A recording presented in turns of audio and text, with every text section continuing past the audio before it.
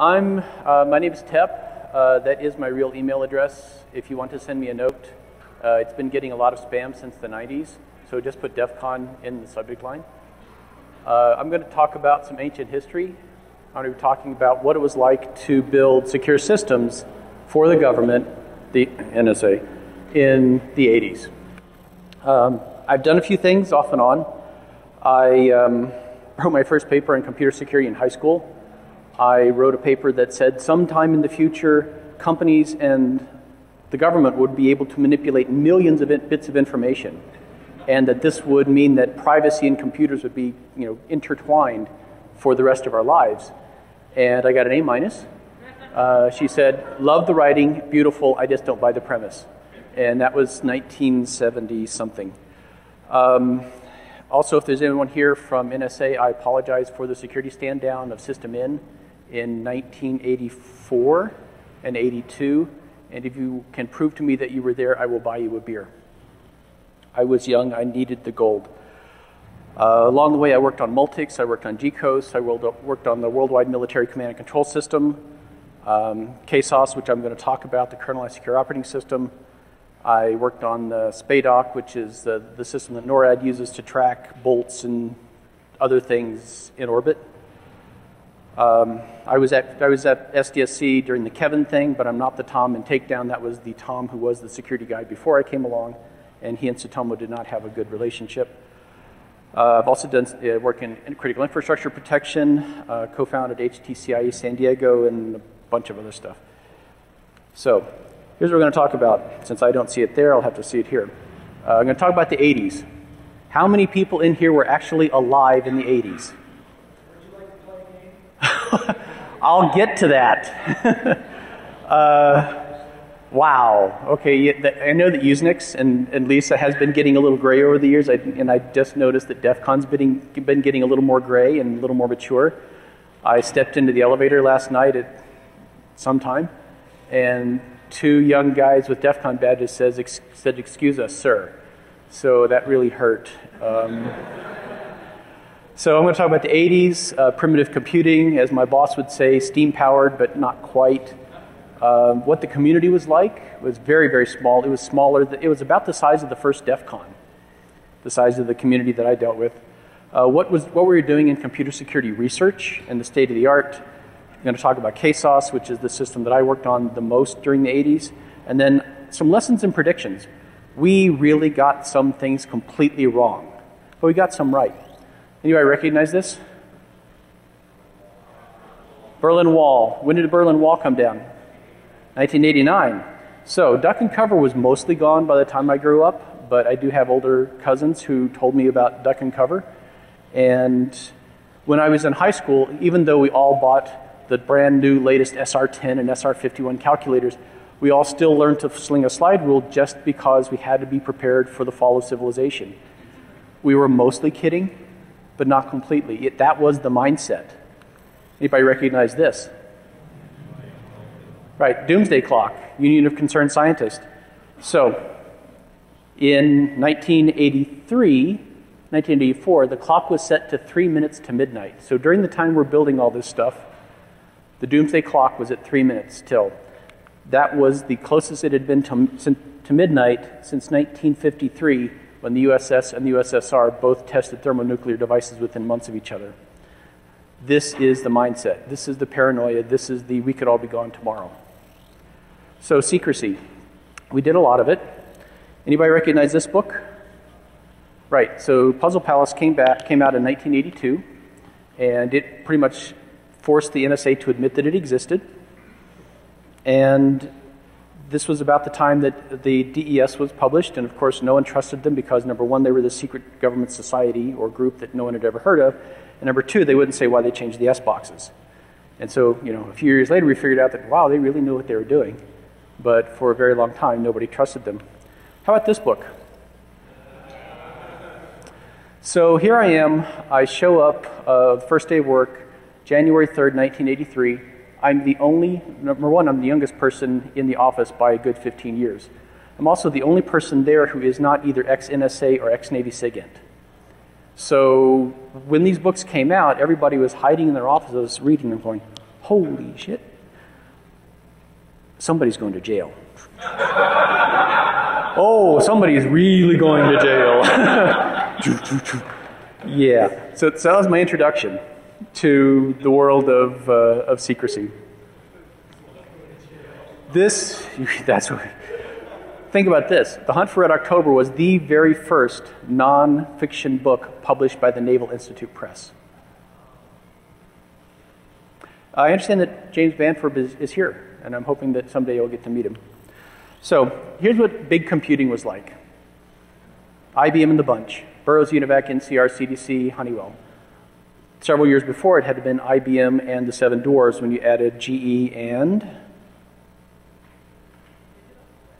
Nope, they weren't big enough. It was Sperry and Univac when they merged.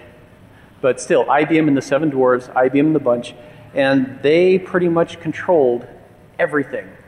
Big mainframes, millions of dollars, and every company could have one. Not so fast. Anybody recognize that one? Yeah, sorry about that. Uh, didn't mean to cause any flashbacks. Uh, MS-DOS 1.0, 1982. But it got better. This guy came along. And so 1984, 128K and a floppy disk, because no one will ever need more memory than that.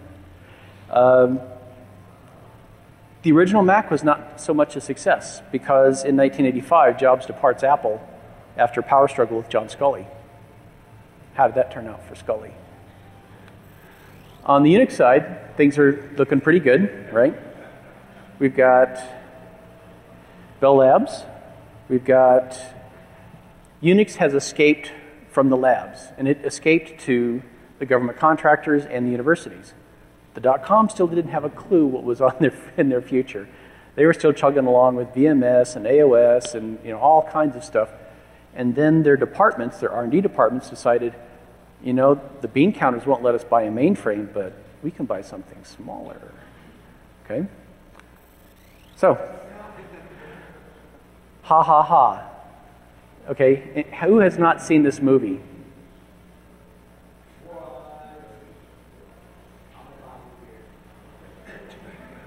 Fuck. Yeah, think about this. Here, here's the kicker. This movie set society and law enforcement's expectations for hacking and what hackers could do for a decade. Okay? 2600 comes out. DEF CON is still 10 years in the future. So, yeah, thanks, Hollywood. I would like to play a game. Um, so, as I said, R&D researcher, you know, R&D groups, small groups were deciding that they could buy this thing called a PDP, peripheral data processor, because it wasn't a computer. So the bean counters in the MIS departments couldn't say, we buy computers, you don't. This is a peripheral. It says peripheral right in the name. You can tell it's the 80s. If it isn't the rock and miniskirt, it's the guy's sideburns. Um, but this was how things were going. And then we got this. If you were on the ARPANET and you had a VAX, you put the name of you, know MIT VAX, NORAD NAC, MAC, you know NORAD VAX, Logicon VAX. You put VAX because you were progressive, you were cutting edge, and you had a machine that could do a million instructions per second. This changed everything. Oh, yeah. Then there were these guys. So if you're old enough and you've ported enough Unix code, you may have heard the, the, the, frame, uh, the refrain, all the worlds of VAX. And for a decade, all of the Unix code was written on VAXes, and then you, it was your job to port it off of VAX. And then a while later, it was all the world is a sun. And so you ended up having to deal with all of the sunisms that people had buried into their C code. So we had this guy, PDP 11. These are still in use. Fortunately, uh, it's been reduced to a single chip, and it still, but it still lives on in a lot of embedded systems, especially onboard ships where they either run the single chip version or they run PDP-11s in emulation for things like fire control, radar, because that's what they had. 16 bits, 1 to 2 meg of RAM, and 1,000 instructions per second. This was a one kip machine. Oh, yeah, and you got those really beautiful, expensive 176 megabyte drives. Some of the women in our department wouldn't do backups because they couldn't lift the, the disk packs. And you can tell it's the 80s. Lovely colors, beautiful plumage. So, why are the bits grouped in threes? Octal. None of that fancy hex stuff for us. So, memory test. Anybody know what this is? Ding. Core memory. Donuts on wires.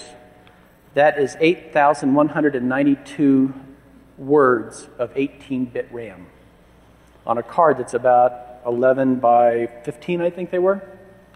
Yeah, and if you take a close look at it, it's donuts on wires. So now you know why it's really called core.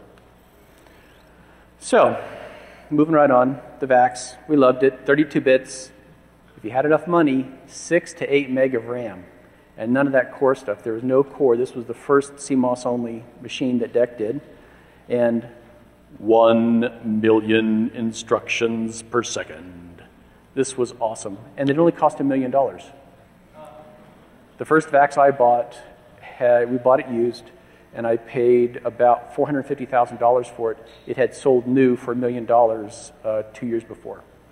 So a million instructions, a million dollars. That's the way it worked. And oh, by the way, those uh, washing machine drives there, we upgraded those. 300 meg. Programming languages. We still have the old classics. We've got PL1, we got Fortran, we got Lisp, we got COBOL. Don't knock COBOL, it probably still writes your paycheck. And by the way, COBOL, if somebody's doing financial calcs, I would prefer they do them in COBOL than in anything else because they do BCD and they actually round properly. You should know that if you'd done any computer science studies, but you probably didn't. So, or else you're pre, or else you're pre-gaming DEF CON for the last three years. Uh, Pascal, Modula, Modula 2, those are going to become important. Pascal was the first language designed to teach good programming. But it was a little short on features, hence Modula, and Modula 2. Uh, Ada comes along. Don't knock Ada until you've tried it. it. Yes, it was designed by the DoD. Actually, it was designed by Honeywell. But having written about half a million lines of code in Ada, I would prefer to write in Ada than pretty much anything else on the screen. And then this is when Perl and Tcl just begin to arrive. So structured programming was the big thing. None of this fancy object-oriented crap. This was structured programming because until this time, people were still really in love with the GoTo. So what kinds of tools did we have? We had stone knives and bear skins, and we were glad of it. Uh, we had ED. Love it.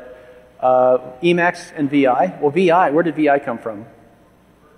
Berkeley, yeah, shows up uh, right, right around 3840 BSD from Bill Joy, but we're talking PDP 11s here.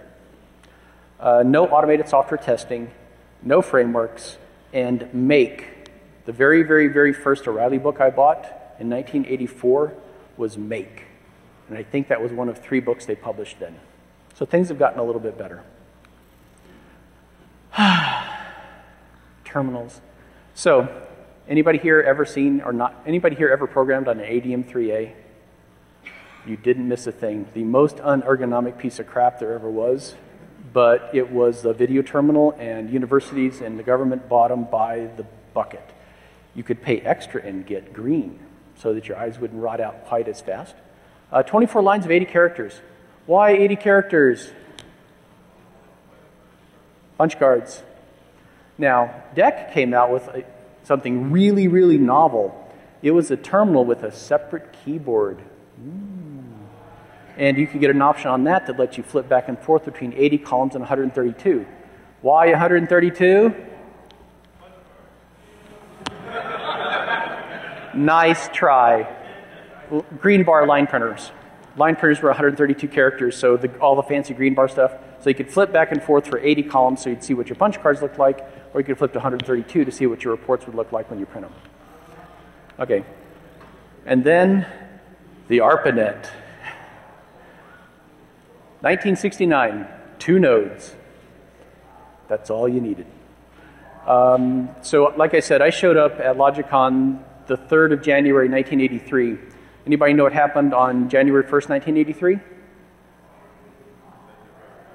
The, the, inter- the, the, the network, the ARPANET, took the first step towards being the internet because that's when they flipped from NCP to IP. That was the Flag Day. So go look in the Wikipedia entry for Flag Day, and you will see why it's called a Flag Day. That was the first and last incompatible transition in internet protocols, and it was the suck. There were some sites that were knocked offline and didn't come back for three months while they tried to get their IP stacks working. So 1983, 500 nodes. 1984, 1,000 nodes. 1986, 5,000 nodes. Nobody knows how many nodes today. This, this is from about 1995, this graphic right here, I think. So throughout this time, the DEC 10s, DEC 20s mainframes are about the most popular. Uh, VAXs, if you could afford them, lots of PDP 11s, a little bit of Multics, uh, some Sigma 6, Sigma 7, Sigma 9 stuff. Um, anybody know what the backbone speed of the ARPANET was? 56K, and the modem was about half the size of this table, and the power supply was the other half of the table. Because AT&T knew how to make stuff that was going to survive a nuclear holocaust, and you know tubes in the power supplies and all that kind of stuff. So now at home, you could get, not at home, but if you were directly connected to a computer, you could get 110, 300, or 1200. At this point, the culture is still about secrecy. How do you get how do you become secure? You keep it all a secret. Almost all of the government all, almost all of the security research is being funded by the government, the US government, the UK government, and other governments that I'm not going to talk about. Universities didn't want to go anywhere near this. That's, that's being part of the military industrial complex. We don't build bombs here. We don't do government research. I tried to start a PhD program at the University of California, and I said I want to do my PhD in computer security, and they said, well, number one, we don't do that. And number two, we don't know what that is. And number three, even if you could find a graduate advisor who would, we won't let you do it because then the government will be here and they might direct your research in some way that might be evil. So things have changed a little bit. Um, this is one of my favorites. At this time, we're still taking some software bugs and classifying them. So let's say that you have a system that's processing top secret information and you discover a bug in that operating system or that application. That bug is classified at system high for the system in which it was discovered. Problem is, you can't give those back to the manufacturers to fix it because all their programmers don't have clearances. So what you do is you go find another machine somewhere that is running unclass, but the same OS or the same software, and then you find the bug, and then you slide that to the manufacturer, they fix it, and how convenient. Someone, ought, someone else found the bug, now we can fix it. I saw that about five times. It was very disheartening. Computer security was a very small club. There were really two security conferences, nothing at all like today. The the, conference that I attended the most was NBS, National Bureau of Standards, who put it on and ran it for another agency that was nearby that also began with N. And this was the NBA conference. This was a really small conference in the 80s. It was about 200 people. Sometimes it was larger, sometimes it was smaller, but around, around 200 people that you kept seeing year to year. And a lot of them, I was the noob, a lot of them knew each other and had known each other for years. It was a very, very small community. Now, there on the West Coast, there was this IEEE security conference, which was uh, a lot more open and a lot more focused on business and that kind of thing. But the NBS one was very much a research gathering of people who were doing things for the government. Here's how much of a noob I was. So I gave a presentation at NBS, and I step off the stage, and this very nice gentleman, you know, beautiful suit, bit of a bit of an Eastern European accent, walks up and he shakes my hand, you know, hi, how are you? I really enjoyed your talk. And you know, all this, and, and, we, should, and we should get together sometime and, you know, for a beer or something. I say, sure, why not? And he gives me a card. I don't even look at it. I just put it in my pocket. And then I walk away, and one of the other attendees says, you know you have to file a contact report. A what? Yeah, contact report. What? Well, number one, he's a Soviet citizen. Number two, he's the cultural attache. Number three, he's GRU.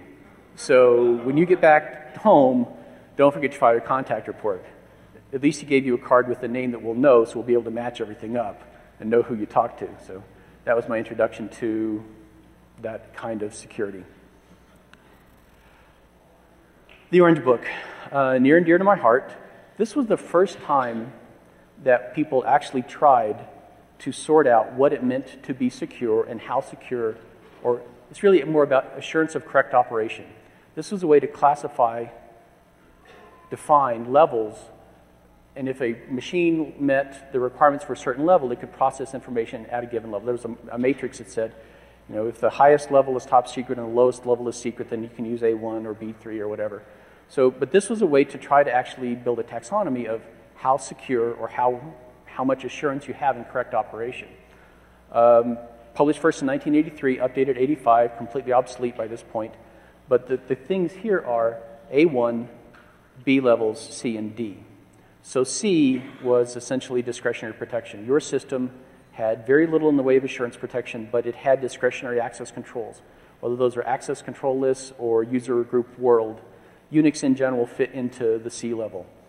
B levels, mandatory security, this meant that every piece of information in the system was labeled by the system when it was created with a mandatory label of like secret or top secret or uh, confidential and maybe a set of compartments. And that label would follow that information forever. And then it would, the system would mandatorily, mandatorily, the system would compare the label of that data to your clearance and decide if you could see it. But you had no, there was no discretion at all. The data was created at a level, and it could only be accessed by things at that level or higher. And then at A1, we start talking about the, all those features are really cool, but is it going to work correctly? Is there any assurance that the design of the implementation is actually right? So the question is, how do you get to A1? So, are there any experts in predicate calculus in the room? We are going to have a talk. I learned enough to do some work, and that about broke my brain. So predicate calculus is one of the ways that you describe the formal system, formally describe the system, and then you can create some theorems to see if it actually is, the design is correct. So at A1, we're talking about these formal methods, not just formal models, but formal methods. Formal models describe the system, formal methods are how you create it. So what we're looking for here is we want to mathematically prove that there's a high assurance of correct operation. And the way you do this is you create, you describe the system using some kind of non-procedural language, which generates, then you generate a bunch of theorems, and then if you prove all the theorems, life is good. I don't prove theorems very well. As a matter of fact, I was an engineer, I am an engineer, not a mathematician, and this was really, really hard. Fortunately, some other folks had done a lot of the work uh, before I got there, and I just had to prove um, I had to reprove some of it and prove some uh, new pieces that we wrote. So in proving a design correct, this is kind of, in a nutshell, you know, at the DEF CON level and what I remember, this is about what you do. So you, you describe the system's complete state. So that's all the global variables, all the static variables, all possible values of all those variables. This generates a really big finite state machine. Really big. Space is big, you have no idea. Think about this 16 bit mini machine, 2 to the 16th values times the number of variables that you believe are global, comma, static. That's the size of your finite state machine, in theory. So then you derive theorems about all of the state transitions from across the nodes in the finite state machine, and then you just prove the theorems. Interrupts make things interesting because those kinds of state transitions don't always start in the same bubble. So you're chugging through your finite state machine, suddenly there's an interrupt, and you end up over here in this other state. So that makes finite state machines fun. I, this is when I learned to drink. So how do you describe this? Use special purpose languages like Special and Gypsy. The problem is you have insufficient computing resources or software technology to prove or even describe really big systems, so you have to keep it simple. So in a nutshell, the way we define this is I'm starting in a secure state. I have defined that I am a, in a secure state. And then you define theorems that lead you to all of the other possible states. And as long as you can prove that all, and if, so you start in a defined state, and then you, all state transitions are proven to not lead you into a not secure state. Yeah, right? It's simple. I mean, it's like three steps, right? You know, one, two, profit. But what does it mean to be in a secure state? And this is where two gentlemen, Bell LaPadula, they did some really cool stuff. And they created this thing called the Bell LaPadula model. And this was really the first formal description of security in terms of computing. So they said, we're going to make this simple. There are objects. Anything that stores data is an object, whether it's a file or a byte or anything, it's an object. And then there are subjects, which are programs or processes. Those are the active things that cause objects to be accessed and changed and modified. And then we're going to describe with a couple of rules how they interact. Okay, pretty cool. So these are the two primary properties of the Bell LaPadula model. Simple security. A, you, a subject cannot read from an object at a higher level. That basically says that if I have a secret clearance, I can't go into the file cabinet that has top secret stuff and take it out. I may not access things at a higher level. However, let's say that I've got access to something at secret level. Why can't I just give it to my friend who has a confidential clearance? That's the star property. They couldn't come up with a name for it. They didn't know what to call it, so they just said star. We'll figure out what to call it later, and it's been the star property ever since. So the star property basically says you can't give away information that you have access to to someone who doesn't. There's also some, you know, some other stuff like transitive star property and, and a bunch of other complications. But these are really the two big ones. This looks really simple, right? I can't see things I'm not supposed to. I can't give away things that I own or that I have access to to someone else. That's a very easy description. Go read the paper. Trying to describe that mathematically gets interesting. But this is all about comparing labels. Labels are what is on a document. Labels are what is in on an object. Labels are correspond to a clearance. It's really easy to say top secret greater than secret. That's easy. Secret greater than confidential. That's easy. What happens when you add these caveats, code words, and handling designations? How do you compare top secret plus no foreign plus nightmare green plus SR71? If those even exist. Because if nightmare green exists, I'm worried. Oh, you've read the book. Um, how do you compare that to top secret plus nuke sub plus blue crypto? Is blue crypto greater than SR71? Is it less? How do you compare these labels? Well, since I did used to teach computer security for a living, I'm going to uh, you know, invoke my professorial uh, prerogative and say the exercise is left as an exercise for the student. I would like a proof, uh, in you know, formal mathematical proof, and show your work. So proving all this is complicated, right? The design and proof of process was so onerous that the only way out was to create these extremely small operating systems. And this is where we end up with security kernels. So at the same time this is going on, we've got high assurance, uh, high assurance systems. Remember, we're not talking about secure systems. We're talking about high assurance of correct operation. Not secure, but high assurance of correct operation.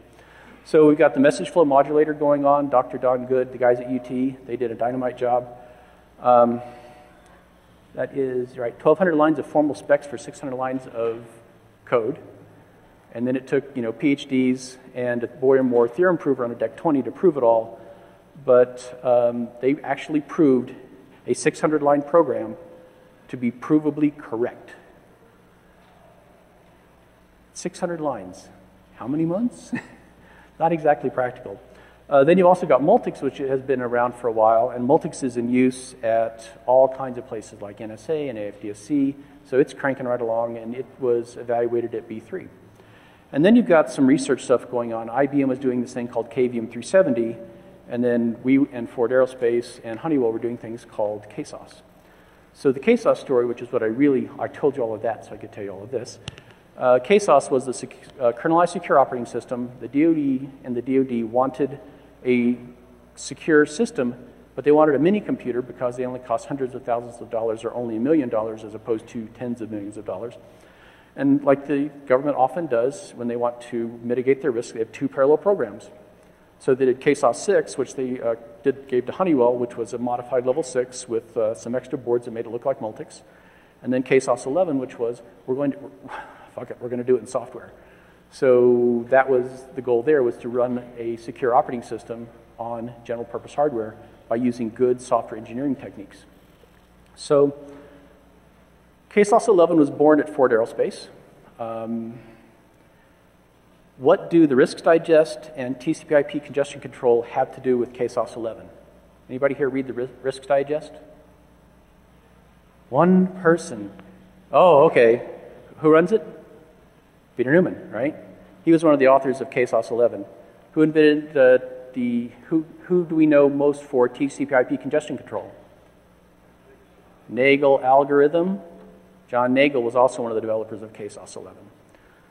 So when I do, when this was transferred to Logicon, I ended up having to wade through all this code. To this very day, it is some of the most beautiful and elegant source code I have ever seen in my life. I don't know who those guys were. Well, actually, I do know some of them. But it is some of the most awesome, beautiful code I have ever seen in my life, and it is what we should all aspire to. Now, come to that. Um, I haven't figured out where to send the Freedom of Information Act request. I have the contract number, and I may or may not know where there, a, a copy could be found, but until I, well, I'll come to that. So at Ford Aerospace, I think the team size was like 8 to 15 off and on. Uh, when it transferred to Logicon, we had a contract to build guards to sit between networks at different security levels. And they said, oh, by the way, we have this operating system. You should use it. We looked at it, it was like, cool. this is really good stuff. We're going to use it. And we actually deployed it in operational systems. Uh, in a couple of cases, they were between NSA systems and Army systems or NSA and Navy systems. Uh, these were processing um, intelligence information that's being gathered and then doing a correlation. And KSOS was the thing that sat in the middle. This I cannot say enough about. Shannon's maxim, maxim the way we used it was secure even if the attacker has all the source code. No security through obscurity. Actually, it has the source code and all the design documents. This is really big. Until we started talking about this, remember that whole secrecy equals security thing? If you wanted to build a secure system or be involved in security at all, you had to keep it a secret. Here was source code for an A1 kernel that wasn't classified. Oh, think about that in terms of open source. So the development technology, what did we have to build this stuff out of? Well, we had PDP-11s. Uh, we had Unix Programmers Workbench, which is what you had before version 7. Uh, if anyone knows what Tyco is, uh, we got ours. I'm going to talk to you after because you're nodding too much.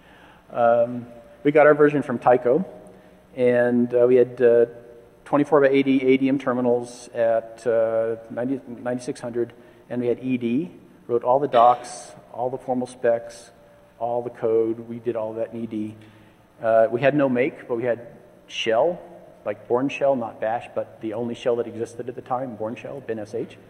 And uh, we had a Modula compiler. Yeah, about that Modula compiler. Uh, anybody recognize the, the gentleman in the upper uh, right hand there? Give you a hint. He also invented Pascal. Say again? Thank you. Yes, Niklaus Wirth. This is an experimental compiler from Zurich. Here's a compiler. it is good. You should use it. There's no support and don't tell anybody you're using it.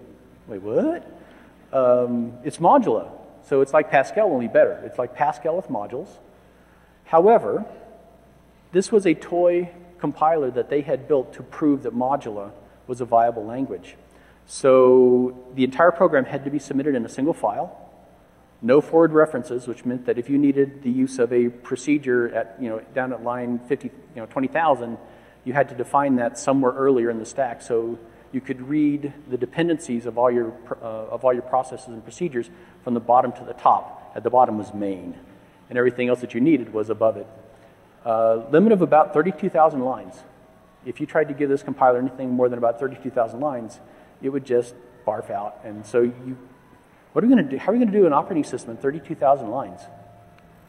Well, we did. And actually, Ford Aerospace did. And then we took advantage of it. 41 system calls. Modern Linux has 300 and what? But it turns out with, the, with these 41 calls, you can implement all of the others on top of it. But remember that whole thing about single file compilation?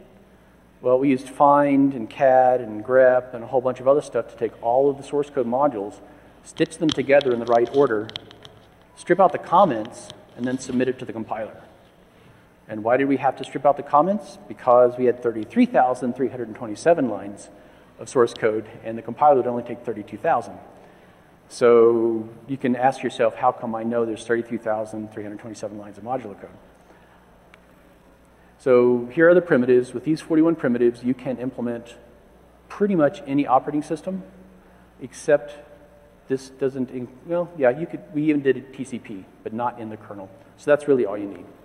So provably correct design, 45,000 lines of special, which is a non-procedural description language. Um, that was turned into several thousand theorems. You feed those to the Boyer-Moore uh, theorem prover on the DEC 20 at UT, and you pray that it solves the theorems that you'll never be able to. And then whatever's left, you have to work your way through. You have to lead and hint the theorem prover to prove the theorems. You can give it hints, you can create lemmas, and all that stuff and then that leads to proofs of all the theorems. I only had to reprove the theorems, and then we had added two kernel calls. So I only had to reprove the theorems and prove the two new kernel calls, and that took me months because I'm not a PhD, and this was kind of new. Now, KSOS did a few things um, that were kind of cool. We, we kind of anticipated the future. Object stores are the big hot thing now, right? S3 object stores you know, all you've got is a file handle and that's all you need. That's all KSOS had. We couldn't get, if we'd put a hierarchical file system in, we would have had a lot more work to do in proving all, and it would generate a lot more theorems. So we just said, we're going to do an object store. There's file handles, there's file hashes. That's your handle. Don't lose it, because if you do, you'll never see that file again. So it's very much like S3. We did build a user space file system, kind of the way that the fast file system and many file systems for Unix have been built since. You build them and you debug them in user space and then you shoehorn them into the kernel. We couldn't do that because we were running up against the limits of RAM because you only have 64K instructions, 64K data, and a PDP-11, and then on the VAX we were, we were okay. But uh, we also did the TCP IP stack in user space. So if you had a KSOS system that was sitting between three networks at different classification levels, you had three processes, each one attached to a network, and each of those processes ran at the same security level as the network it was attached to. So this meant this was a way of classifying the network traffic based on, you just classified it based on the, the label of the process it was running. So Unix compatibility became important. Uh, we did a V7 uh, emulator, 110 calls. That fit in 48K. So if people tell me that they don't have enough RAM, on your machines today, bite me. Real myth, yeah, well, I won't go there. Uh, so KSOS 11 was actually deployed in operational systems. Um, in many cases, system low was top secret and system high was TS plus, you know, compartments and things. There's nothing above top secret. There's just things that go with top secret. Um, and then the government said, wow, wouldn't it be really cool if we put this on a VAX? And we said, you betcha. Buy us a VAX, please. And they said, yeah, how about used? I said, sure, I'll take that. And so I bought a VAX. Um, so in 1985, we undertook our first completely unique KSOS work, building on what had been done at Ford Aerospace. And this was to take what was in KSOS 11 and translate it to KSOS 32 in such a way that we would not lose all of the hard work we'd done for theorem proving. So, uh, 6 meg of RAM, uh, this was a two-user machine. There were two of us, so it was awesome. Two guys, two guys in a VAX, right? Uh, we started Berkeley uh, for, BSD 4.2. Thank you for Emacs. Thank you for VI. Thank you, thank you. Uh, we improved the tool chain. So the tool chain, uh, we, had, we had a Modula 2 compiler. Ooh. This one wasn't experimental. This one actually had support. And we had the same, we, this was essentially a, a straight port. We had the same 41 system calls. The, the, the, source code count is a little bit higher because we actually did additional device drivers for the VAX. Um, much faster development, two guys cranking on code, and also we had this funky build process. So we had to maintain compatibility, or we had to maintain commonality with the KSOS 11 source code as much as we could because we didn't want to lose the, all of the theorem proofs that had been done and have to reprove them or rewrite them. So here's how you started the build for the VAX. First, you check out the KSOS 11 PDP-11 source code, and then you pass it through a bunch of Emacs macros. These Emacs macros were a Modula to Modula 2 cross-compiler. Anybody who has anything bad to say about Emacs? This is an Emacs, this is a Modula to Modula 2 translator built in Emacs. So, uh, yeah, take that, VI. Um, then you um, then you replace so then and then once you've done this translation of everything, then you take out the PDP-11 modules and you throw in the PDP or you throw in the VAX modules, right? So now you've got a bunch of Modula 2 code and you've got in you know the, the new process system that we built, the new memory management that we built, the new device drivers that we built, and then you compile that into assembly code. Why do you compile that into assembly code? Because you need to do the sed hack, which I'll come back to in a minute. Think about this. How do you get a compiler to emit instructions like load process context or manipulate this specific machine register? Modula, Modula 2, high-level languages don't have those instructions as statements. So you have to find some way to omit the specific weird instructions you need to build an operating system. So you apply the sed hack, then you assemble it, um, and then you assemble it into a new kernel, and then you use DD to put it on the KSOS system pack, and then you reboot your VAX. This isn't, you don't do this more than once or twice a day, because this is also your only dev machine, right? So you, dev, you, de- you develop in the morning until you know everybody's happy, and then you go go, you know, run the compiler, run the assembly, run everything, and then you go to lunch, and then you come back, and then you do DD, and then you reboot, and then you say, oh, fuck, and then you start fixing bugs, and then you lather, rinse, repeat. So the sed hack was one that I came up with, and I have to admit that there was alcohol involved. So what you do is you, in Modula, you make dummy descriptions of all of the instructions that you want. So the load process context instruction, for example, you make a function that has all of those arguments that you need so that you can then call this dummy function from Modula. Cool, right? So I just described it, no big deal. Well, what you do is then when you run the compiler, it emits, you know, push, push, push, argument, argument, argument, and then it does a system or does a call to the function. So what, we, what the does is it goes and finds all of those instruction sequences that are getting set up to call the dummy functions, and then you edit that into the exact instruction that you want. And then you assemble it. so, and then you run the assembler on the hacked up code. So all this happened. Uh, we got to first user login. I actually logged in on the console as admin. The password was not admin. And then the project was canceled. So, yeah, I know. Uh, well, the government ha- had been sold this bill of goods by some of the manufacturers. You know, you guys are spending a lot of money on research with universities and all those stupid defense contractors. We're computer people. We build operating systems for a living. Give us that money, and we'll give you commercial off the shelf A1 and B3 operating systems. Trust us. Anybody bought an A1 or a B3 operating system? No one ever did. Secure VMS was really, really good. Absolutely no doubt. Secure VMS was a real good try. And I believe that it may, I think that it was actually entered into the evaluation. But this just killed Skunk, KSOS, KVM 370, KVM 360, and a host of other research stuff that was really getting good results because the government was going to just start writing a check and buying this stuff. So, want to wrap up with what does all this mean? Why should you care about something that was done 30 years ago, 10 years before DEF CON even started? Well, we got a lot of stuff wrong. I mean, we really did. Uh, we were being told by the mathematicians that, you know, if you write all of these formal methods and everything, you're going to come up with a provably secure design, and you're going to be able to implement that, and you're going to be able to prove that the code is correct, and everybody's going to love you because your machines are going to be secure. Well, not so much, because engineered and claims of well design turned out to be good enough for the market. By the way, how's that working out for us?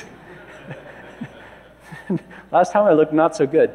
Um, no one was willing to pay for this high assurance, you know, this stuff. Too expensive, too simplistic, didn't have enough features, and besides, we've got DOS, we've got Unix, we got this Mac thing, and they've got all kinds of features and you know all kinds of interface stuff. So what do we need with all this security stuff anyway? It just gets in the way. Um, there was also a lot of work in the 70s and 80s on better programming languages. People actually looked at the code that people were writing and said, wow, it's amazing that you can get anything done because these programming languages are crap. And if you use these features, they lead you to write crap code. Your languages are part of the problem. It, they make it more difficult for you to write good code. Let's solve that with new programming languages. And then came C. How's that working out for us? So, um, yeah. So, but we did get a few things right. So, and if the thing, these, here's, here's, this is the money slide. These, these are the two money slides. Number one, software quality equals system security. Period, full stop. The thing that goes with that is strong configuration management. But if your code is crap, your security is crap. If you don't have decent software quality, you don't have decent security. And take a look at the CVE and the CWE and, and all of those, and you will see that the programming languages we use make it difficult to write good code. We are not so good at the software quality thing, even though there are people who actually know to help us be good, but we usually tell them to, that we're too busy. But software quality equals system security. Crypto is easy, key management is hard, that's pretty obvious. Um, we did get right the importance of logging and audit.